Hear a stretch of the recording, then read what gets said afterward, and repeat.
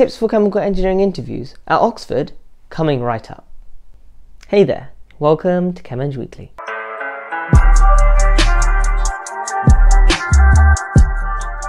Before we start, I'd highly recommend that you watch two videos I put out about undergraduate interview and general tips to do with chemical engineering applications. These are of course the technical interview questions for chemical engineering applicants, as well as general interview preparation tips, and both of them can be found in the iCard section, as well as the description below.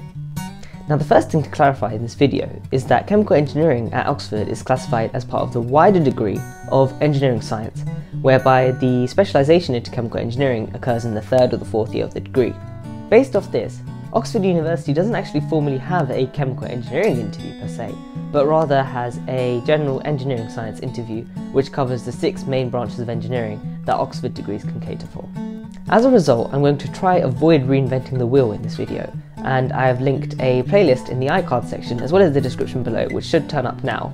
So you can use this as a compendium for all of the appropriate videos for Oxford interviews for engineering science, which will help you succeed.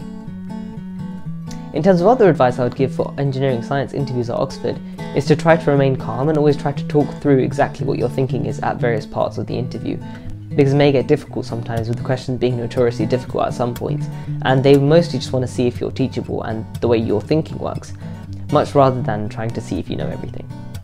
Once again, do make sure you check out the playlist as I've linked in the iCard and in the description, and with that brings the end of the video. Thank you for watching the video. Be sure to like it if you enjoyed it, and leave your comments and suggestions down in the comment section below. Don't forget to follow us on our social media channels, and if you click here or here, you can watch another one of our videos. Click up here to subscribe, and thank you very much.